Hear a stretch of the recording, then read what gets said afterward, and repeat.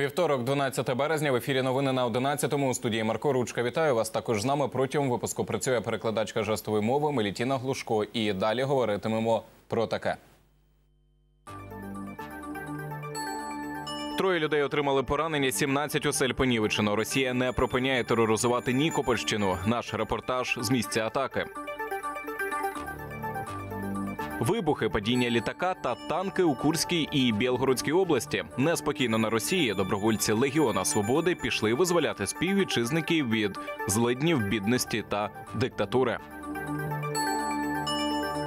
Кладовище колоніального минулого, де у Дніпрі зберігають демонтовані пам'ятники росіянам. Розкажемо згодом. Не пропустіть.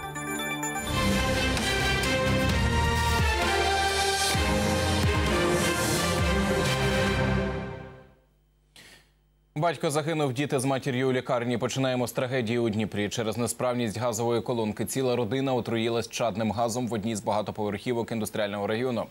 36-річного чоловіка врятувати не вдалося. Лише дивом його дружина разом з двома дітьми 10 та 15 років вижили. Їх шпиталізували. Утім, вже зараз родина на амбулаторному лікуванні. Наразі газопостачання у під'їзді припинено. Слідчі відкрили кримінальне провадження за статтею 115 Кримінального кодексу України із поміткою нещасний випадок. Триває слідство. Троє людей отримали поранення, 17 осель понівечено. Росія не припиняє тероризувати Нікопольщину. Окупанти вгатили по райцентру і Червоногригорівській громаді з важкої артилерії. Детальніше про наслідки обстрілів розкаже наша кореспондентка Катерина Нічик. Роман отримав поранення через ворожий обстріл. Чоловіка буквально завалило уламками стіни. У нього забої грудної клітини та контузія. На лікування каже, відпустили додому. Утім, слух і досі не відновився. Тому про страшний момент удару згадує дружина Романа. Это было все за одну секунду. Вот эта детская комната была наша. Вот, ну ее нету. Побиті уламками двері та повністю знищена стіна. Це все, що залишилося від дитячої кімнати у будинку подружжя. Ребенок в это время отпросился погулять. Вот это его, наверное, и спасло. Удар пришелся на эту комнату. В ней находился муж как раз.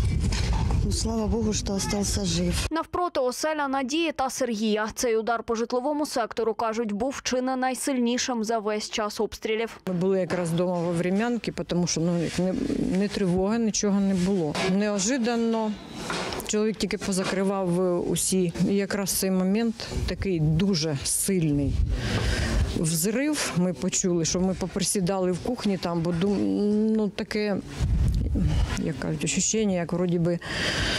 Воно рядом, вроді, вроді би, от, ну, рядом десь за хатою. Вибуховою хвилею в їх будинку вибило шибки, понівечило двері. Ремонтувати, кажуть, марно, бо район під постійними обстрілами. Ну як, поки до закінчення війни підлатаємо трохи і все. І будемо, поки будемо вдома.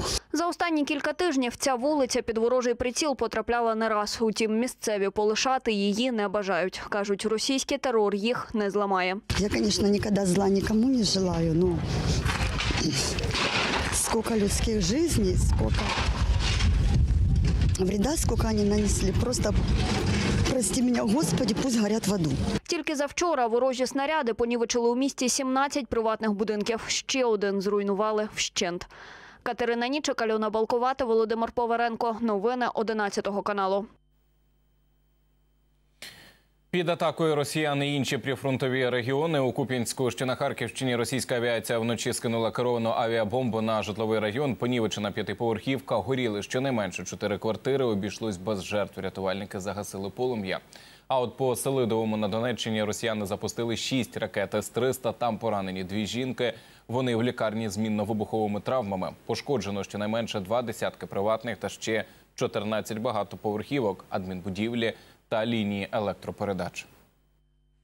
Ворог продовжує артилерійський тиск на прифронтові території і обстрілюючи. Правий берег Херсонщини ворог дійсно використовує не тільки е, наземну артилерію, а й е, дрони різних модифікацій. На жаль, є загиблі за вчорашніми результатами бойової роботи, і е, на жаль, є поранення. На танках до Курської та Білгородської областей російські добровольці заявили, ідуть визволяти населення РФ від злиднів, бідності та диктатури. І самого ранку в кількох прикордонних селах тривають бойові дії. Деякі населені пункти вже навіть перейшли під контроль Легіону Свобода Росії. Про бавовну масово сповіщають і російські телеграм-канали. Усі подробиці зібрала наша Анастасія Вільхова.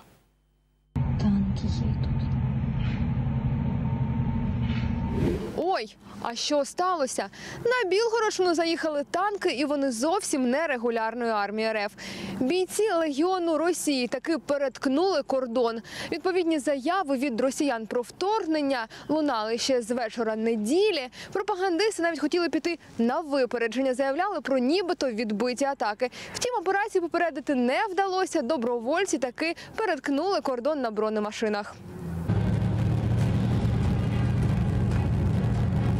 Відповідну заяву Легіон Росії виклав вранці 12 березня. Добровольці заявили, що йдуть звільняти співвітчизників від злиднів, бідності та страху.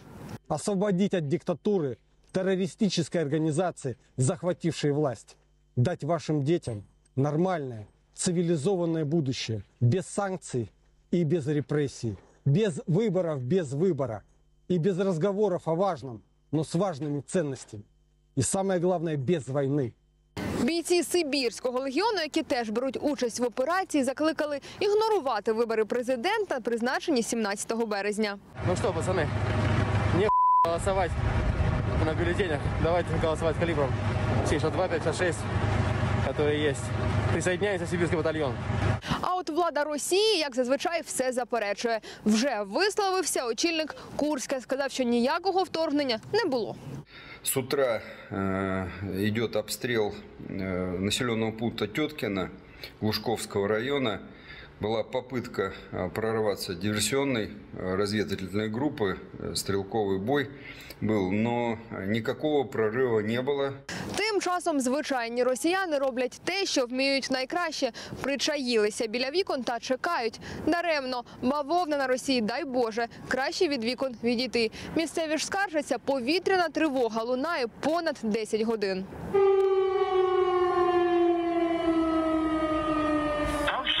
Вокруг и в Белгороде Галя звонила ракетная опасность, общественный транспорт не ходит, такси вообще все стоит в Белгороде тоже. Ты не суетись, они в Мокрой Орловке прорвались, и в Горьковском прорвались, и в Казинке там вообще бои жесткие идут, я пацанам звонил. У Таганрозі, Курську та Білгороді працює ППО. Російська влада заявляє про 11 збитих українських безпілотників. Однак впевнено можемо казати про влучання палає на нафтопереробному заводі у Орлівській області. Не обійшлася участь нафтобазу Лукойл у Нижньогородській області. Лише послухайте ці коментарі. Безпілотник рядом з моєю роботою. Я бу на, оторвало. все в дымище. Російська ППО ловила безпілотники, хтось або щось, начебто, збили російський літак Су-27 над Білгородчиною та Іл-76 поблизу Іванового. Чекаємо на офіційні коментарі. А що ж ОГУР В українському управлінні розвідки вже зазначили, добровольні формування діють на території РФ як самостійні підрозділи, а техніка та зброя трофейні. Але це громадяни РФ. і е, у себе вдома вони мають право робити те, що вважають за потрібне, в даній ситуації відстоювати свої громадянські політичні права і звільняти свою країну від е, російської путінської диктатури. Ми слідкуємо за ситуацією на Росії, тож запасаємося попкорном та чекаємо нової бавовни. Анастасія Вільхова, Денис Єлисавенко. Новини 11 каналу.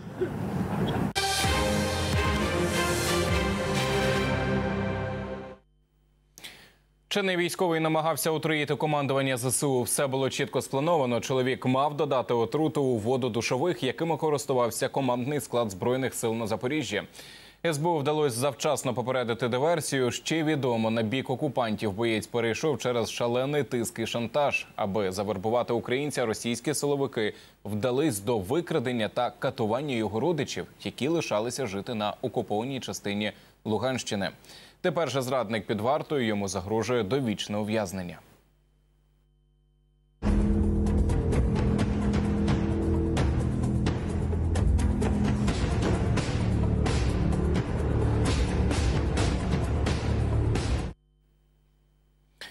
Гуртом закуповував метамфетамін та канабіс, фасував у сліп пакети, а потім збивав через телеграм-канал. У Дніпрі викрито торговця наркотиками. За день зловмисник виконував, так би мовити, щонайменше 170 замовлень. Гроші за товар отримував на криптогаманець. Під час обшуків у ділка слідчі виявили понад 100 схованих закладок, банківські картки, гроші і чорнові записи. Наразі підозрюваного затримали.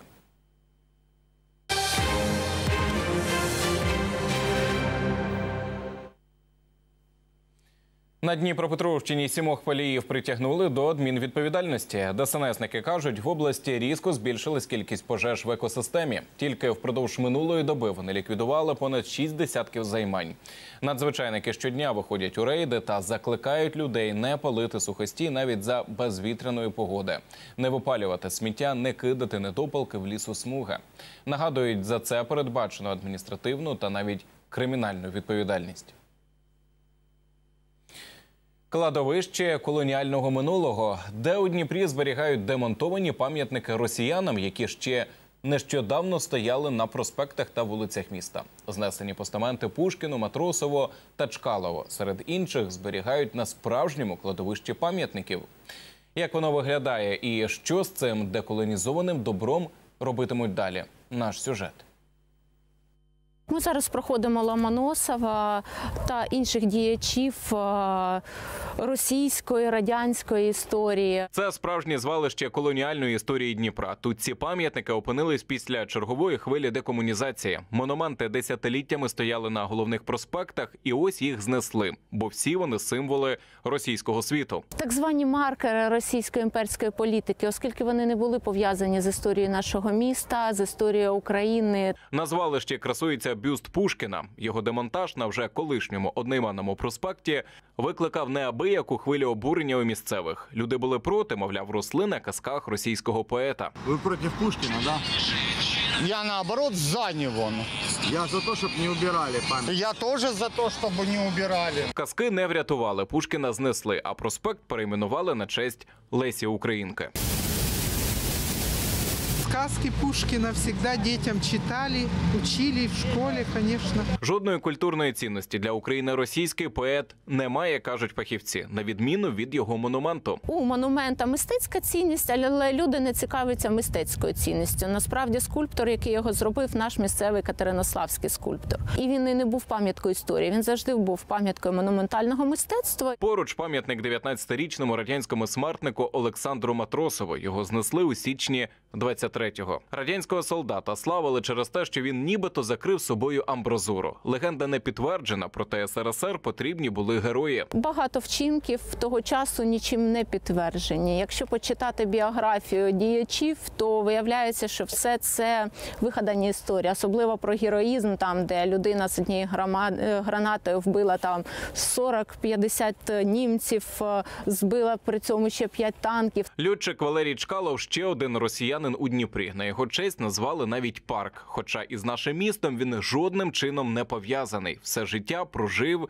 і помер на Росії. Монументи мають якусь мистецьку цінність, бо тут е, це монумент е, авторства Небоженка. Навіть сам е, митець Володимир Небоженко каже, що монументи пов'язані з радянською владою треба знімати. Розставляти свої мітки у вигляді пам'ятників та назв спочатку імперським російським діячам, потім радянським було цілеспрямованою політикою Росії і частиною її пропаганди. Вони можемо подивитись, коли з уходили, тікали з Херсону. Вони все одно вивезли е, останки м, Потьомкіна чи Суворова. Когось вони там вивезли останки своїх. е, ті для них що цінні. У них взагалі культ якийсь е, некроманії, якщо у них досі лежить мрець посеред центральної площі. Загалом ще у 2008 році до прийняття закону про декомунізацію у місті зняли з обліку 31 пам'ятник російським діячам.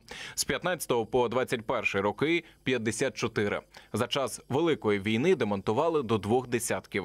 В майбутньому ж звалище цих монументів планують перетворити у своєрідний музей колоніалізму, але поки це лише плани. Кожен раз, коли підіймається ось ця вся тема стосовно перейменування вулиць, демонтаж е, пам'ятників радянським діячам і так далі, завжди люди діляться, і е, так само велика частина людей вони досі не розуміють, на що це робити, не на часі, на що виділяють на це якісь там гроші. Перейменування не несе за собою жодної копійки. Як вони вигадують, що ті, хто здійснюють перейменування, заробили там мільйони вже.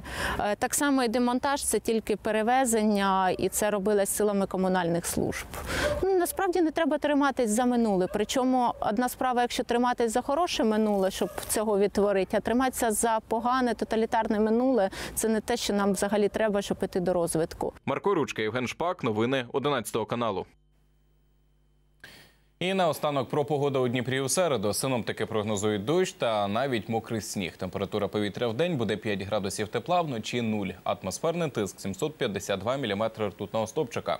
За даними ДНУ імені Олеся Гончара, радіаційний фон в межах норми.